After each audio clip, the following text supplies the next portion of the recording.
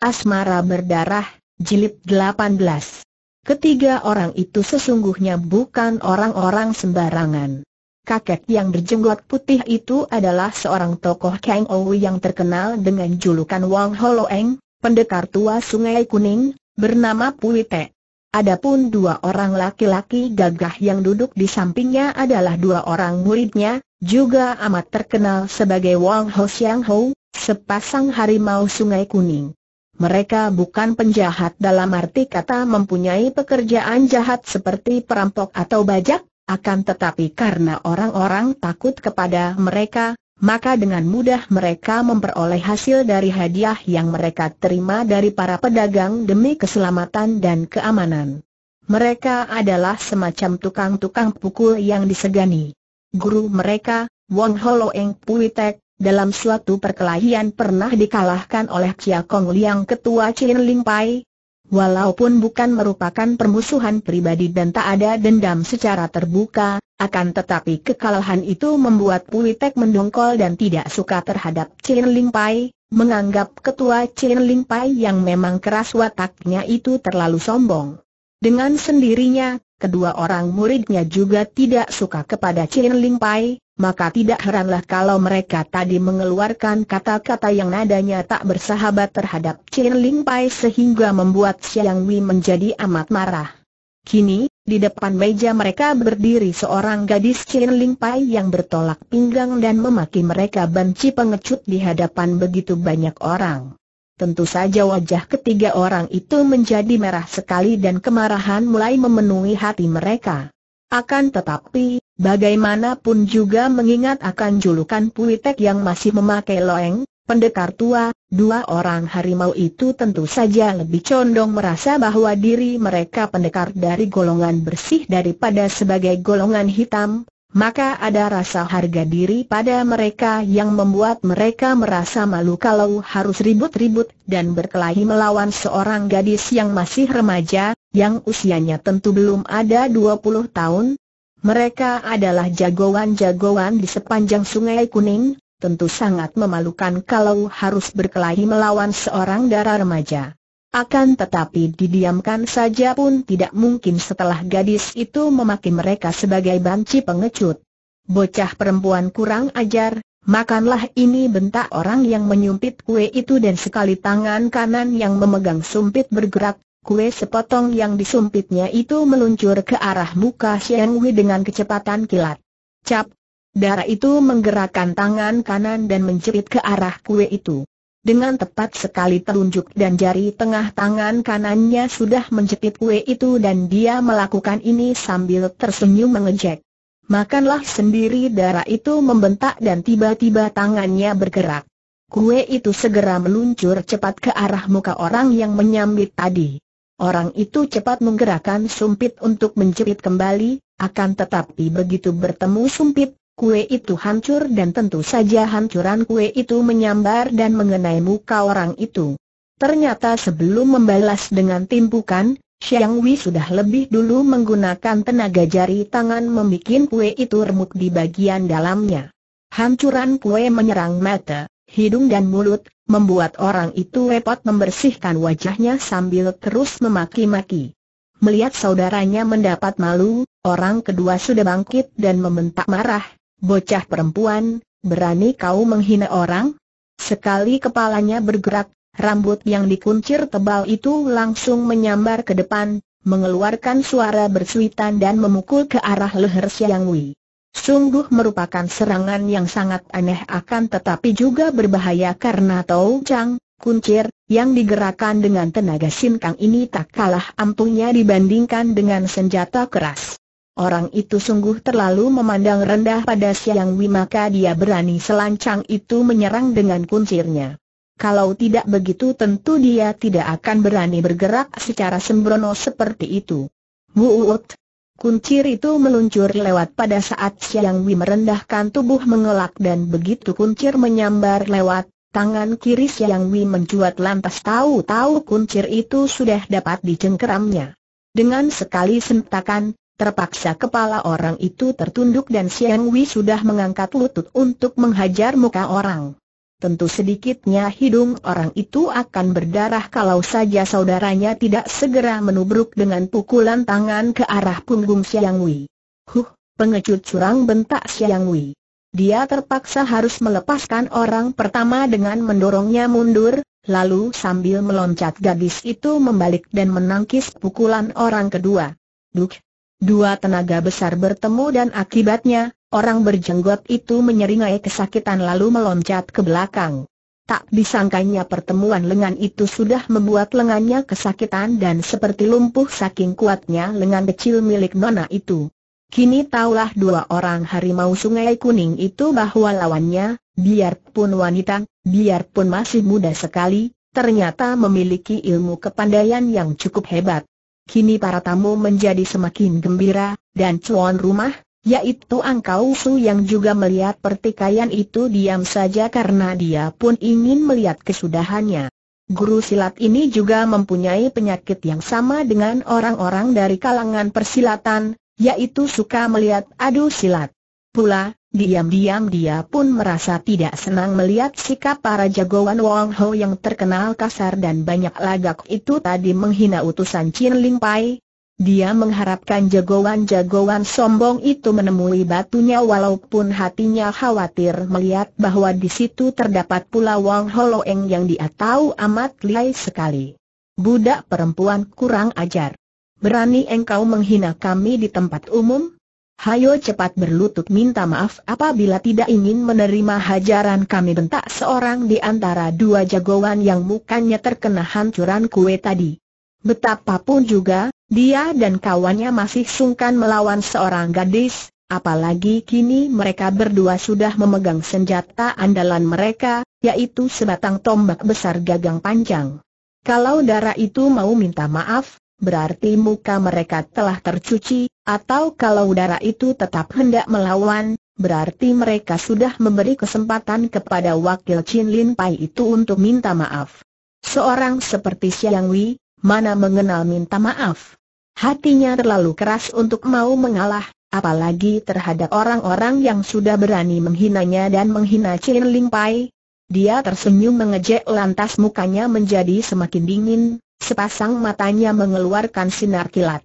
Dua monyet busuk, dengarlah baik-baik. Kalian yang telah menghina Chin Ling Pai dan jika kini kalian mau berlutut minta ampun, barulah nonamu akan mempertimbangkan apakah kalian dapat diampunkan. Kalau tidak, aku akan menghajar kalian. Kata-kata ini sungguh hebat sekali. Bukan hanya menantang terang-terangan di hadapan orang banyak itu, bahkan menghina. Mana bisa Wang Ho Siang Ho, dua jagoan itu mau menerima begitu saja? Bocah setan, engkau bosan hidup teriak seorang di antara mereka lantas golok besar bergagang panjang itu menyambar dahsyat ke leher Siang Wei. Tentu saja darah perkasa itu tidak di lehernya dibabat begitu saja. Dia cepat mengelak sambil membalikan tubuh menendang meja di depannya. Kakek Wong Holoeng yang duduk di belakang meja itu cepat menghindar dengan lompatan gesit ke kanan sehingga dia tidak sampai terkena tumpahan makanan dan arak.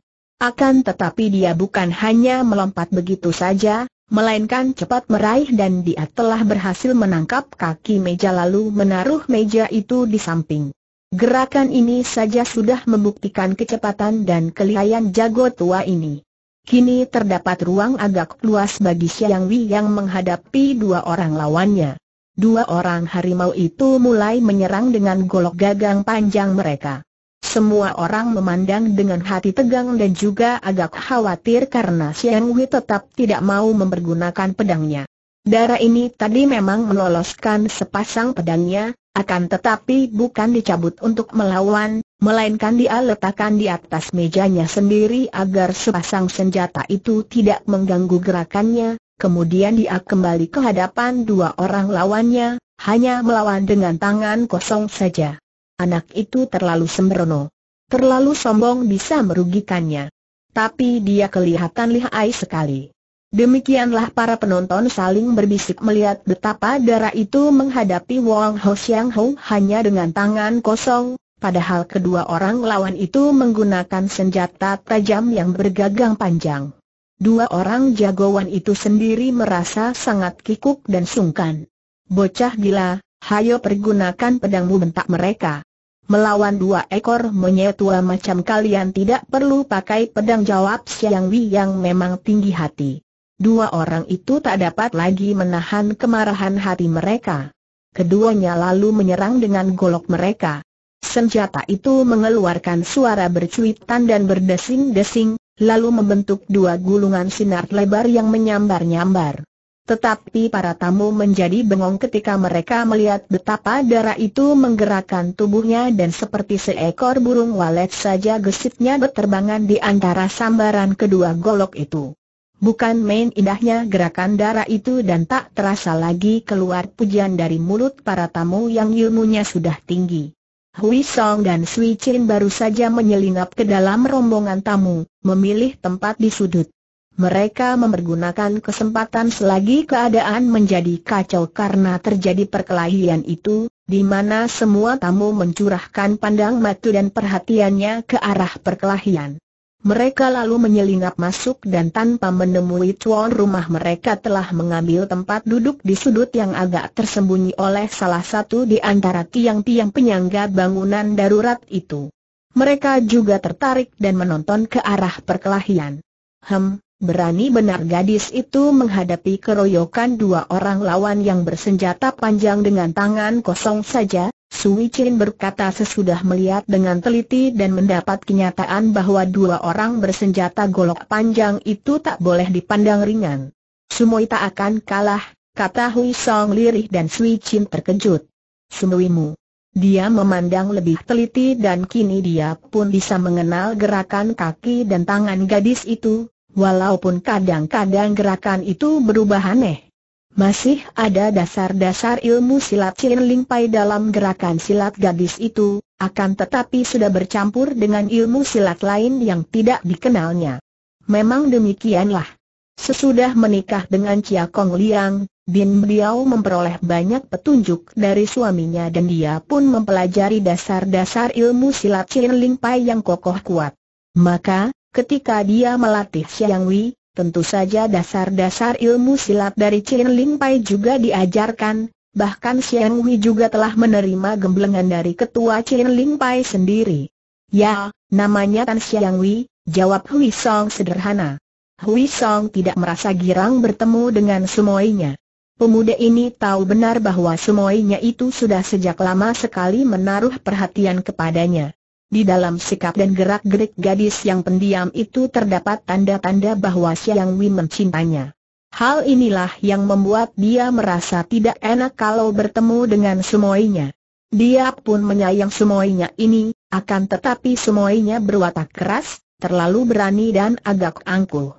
Tetapi dia tidak mencinta semuanya, maka merasa semakin tidak enak setelah tahu bahwa semuanya itu jatuh cinta kepadanya.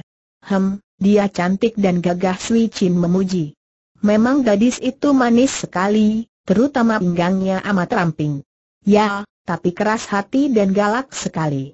Sui Chin menahan senyum sambil mengerling ke arah wajah pemuda itu, akan tetapi Hui Song tidak sedang bergurau melainkan memandang ke arah perkelahian dengan wajah serius dan hati tegang.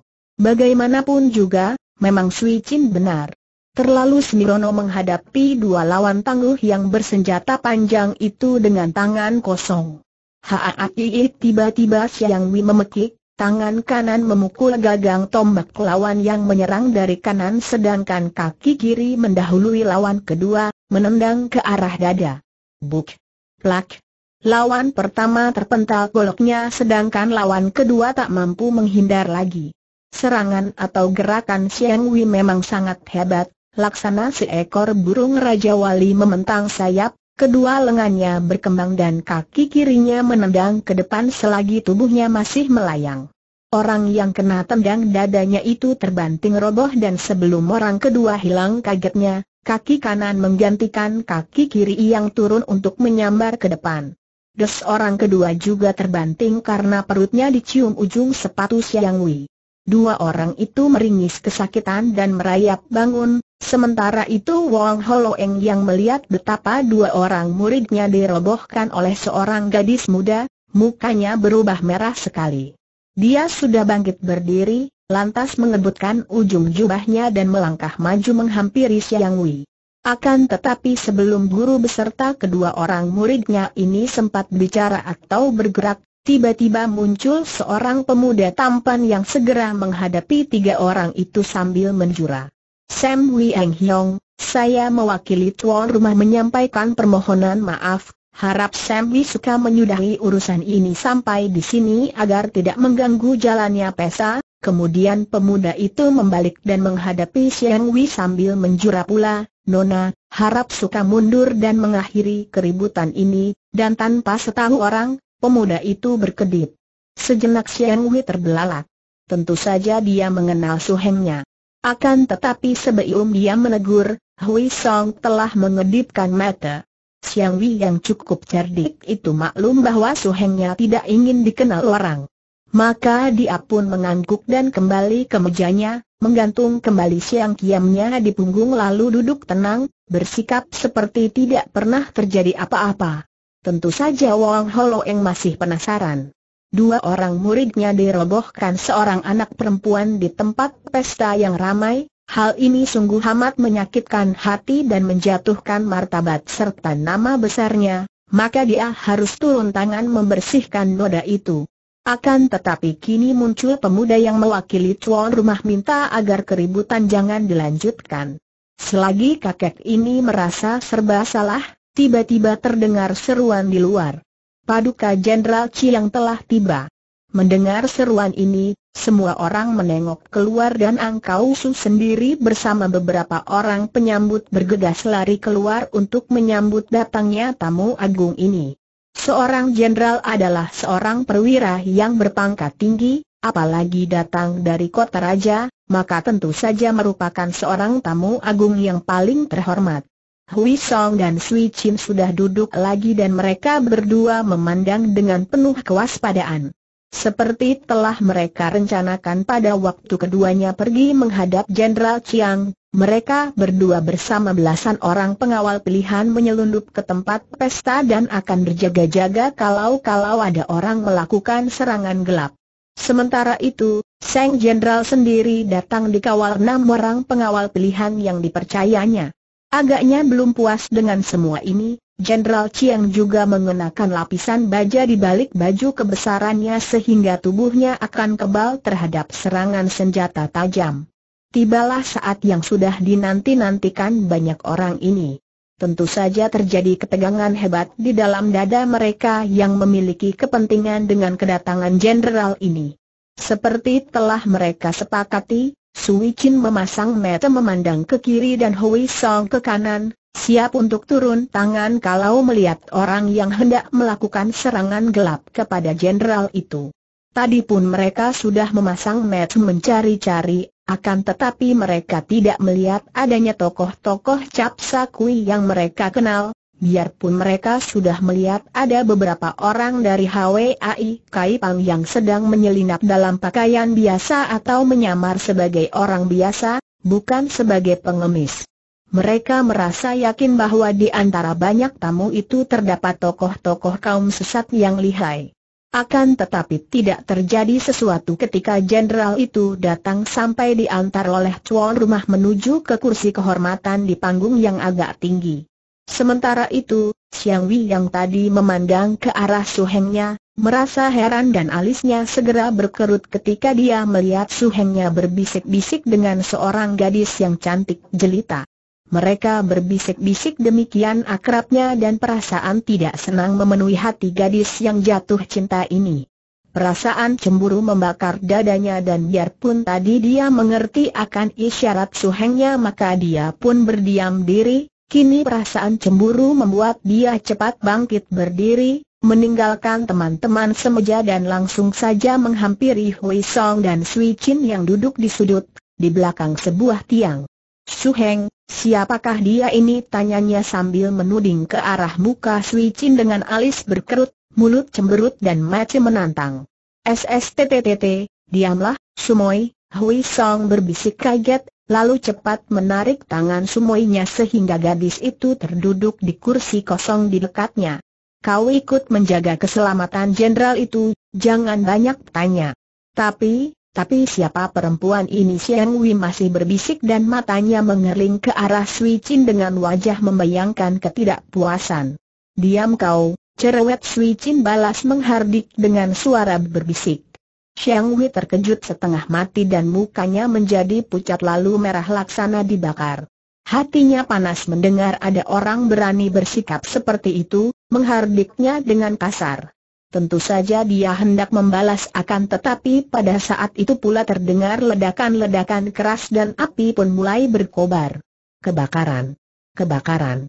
Para tamu menjadi panik. Semua orang bangkit berdiri, ada yang mulai lari ke sana sini, berdesak-desakan dan keadaan menjadi semakin kacau balau setelah terjadi perkelahian di sana-sini. Sui Chin dan Hui Song sudah melompat ke tengah, mendekati Jenderal Chiang. Ternyata para pengawal sudah mulai berkelahi melawan beberapa orang di antara para tamu dan kini dari luar bermunculan tokoh-tokoh Cap Sakui. Sui Chin mengenal Kowai Pian Hek Mo, Hwa Hwa Akuibo, Kyo Bwe E Ali, Kui Kok Lomo, Kui Kok Lobo dan Tote E KWI. Tadi mereka ini menerjang maju bagaikan berlomba hendak membunuh Jenderal Chiang. Akan tetapi para pengawal, baik yang enam orang maupun belasan orang lainnya yang menyamar, segera menyambut mereka.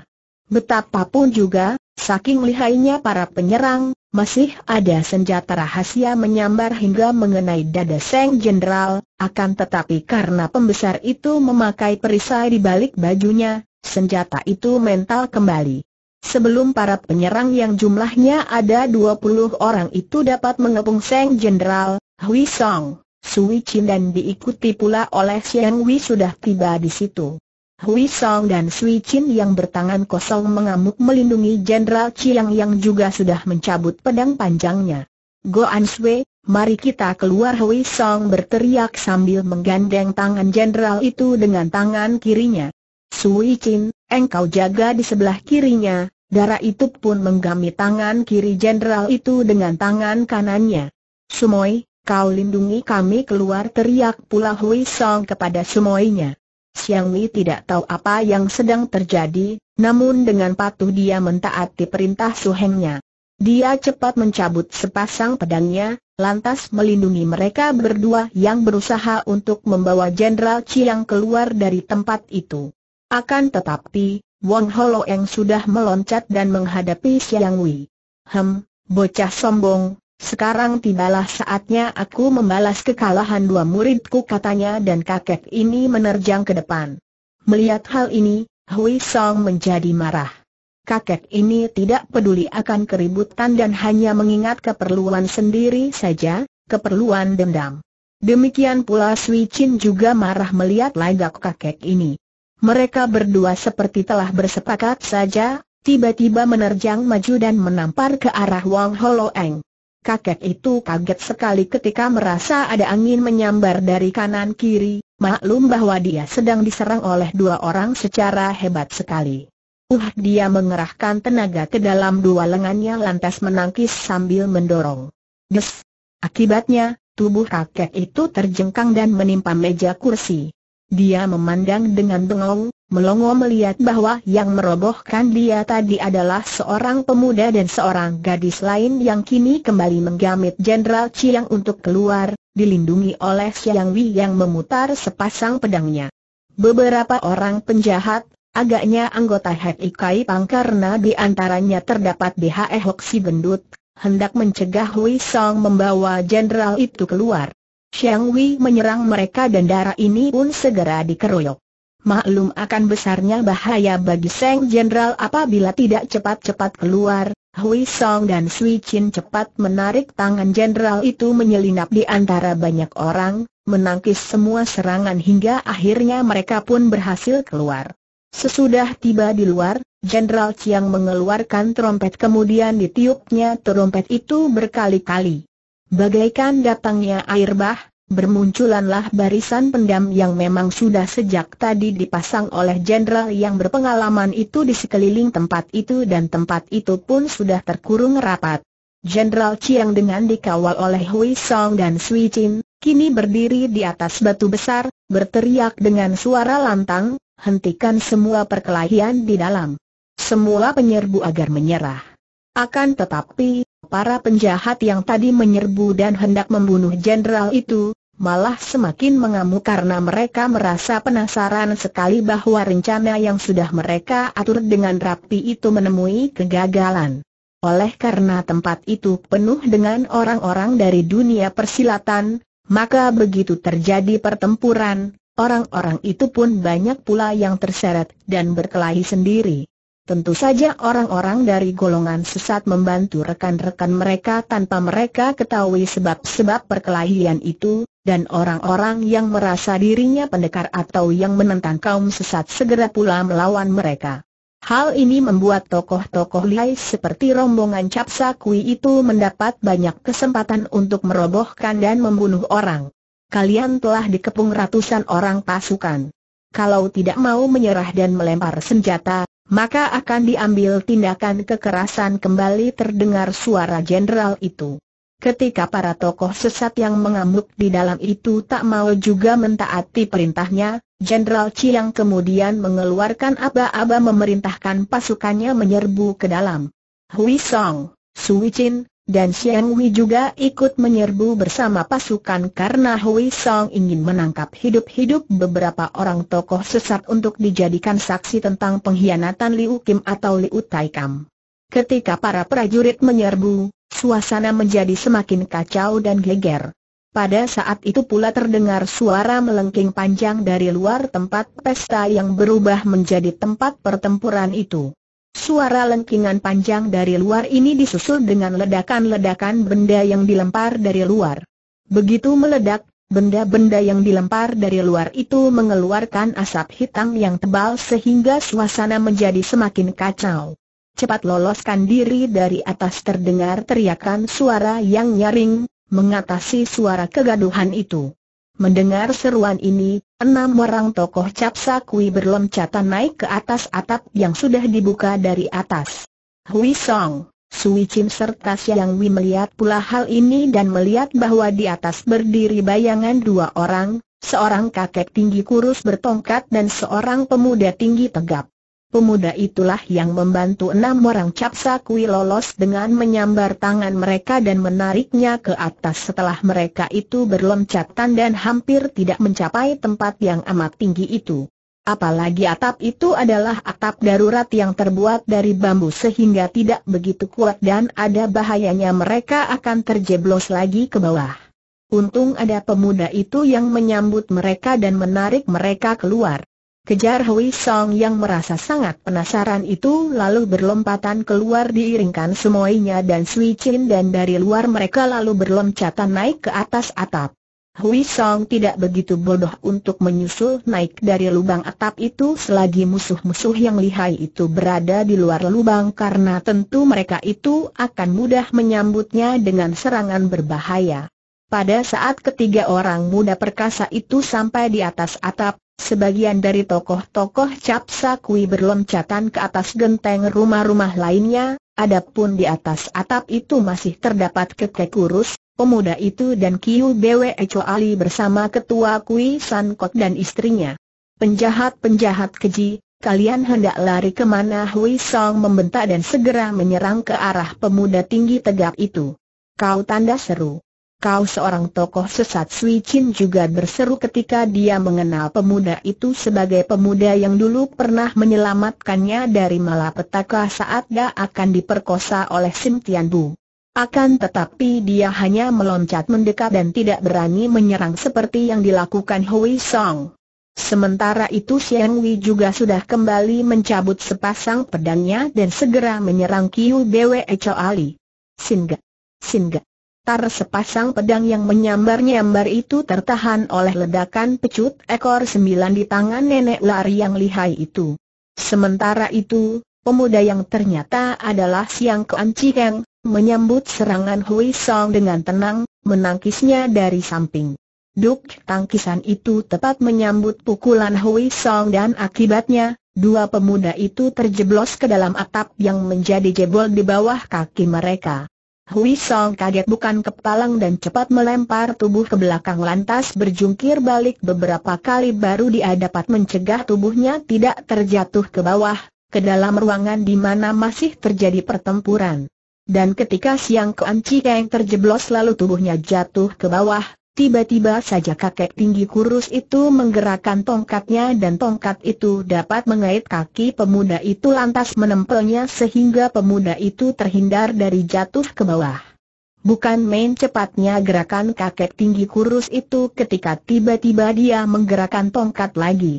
Tongkatnya menyelonong di antara Kiu Bwe Echo Ali dan Xiang Wei dan ketika sebatang pedang di tangan kiri Xiang Wei bertemu tongkat, Gadis ini berteriak kaget karena ada getaran hebat yang membuat tangannya hampir saja melepaskan pedang. Terpaksa dia pun melangkah mundur dan kesempatan ini digunakan oleh kakek itu untuk berseru. Kita pergi. Hui Song menahan napas.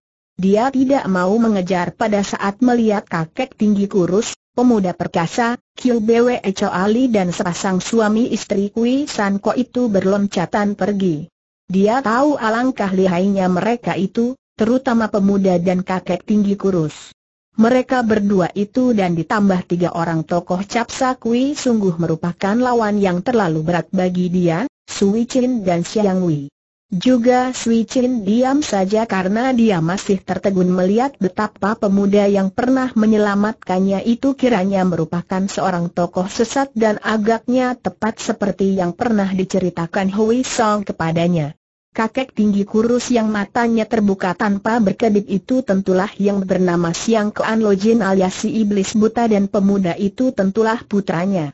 Akan tetapi Siang Wi yang sudah hilang kagetnya, melihat mereka melarikan diri, segera berseru, iblis-iblis busuk, kalian hendak lari ke mana dia pun meloncat ke depan untuk melakukan pengejaran. Sumoy, Jangan dikejar Hui Song berseru sambil meloncat ke depan untuk mencegah semuanya. Mendengar suara suhengnya yang setengah membentak, Xiang Wei merasa terkejut dan segera menahan kakinya. Pada saat itu pula, serombongan prajurit yang berada di bawah melepaskan anak panah ke arah para penjahat yang melarikan diri. Akan tetapi, mereka itu hanya mengebutkan tangan dan semua anak panah runtuh ke bawah. Sebentar saja, para penjahat itu sudah berhasil meloloskan diri. Dengan bantuan pemuda itu bersama ayahnya yang buta, kembali enam orang tokoh Cap Sakui dapat lolos dari kepungan pasukan yang amat kuat. Hui Song merasa kecewa, akan tetapi dia teringat bahwa di bawah masih terdapat banyak penjahat, terutama orang-orang HWAI Kaipang yang menyamar. Mereka pun dapat juga dijadikan saksi, pikirnya, maka dia lalu mengajak Sui Chin dan Xiang Wei untuk kembali ke dalam ruangan di mana masih terjadi pertempuran hebat.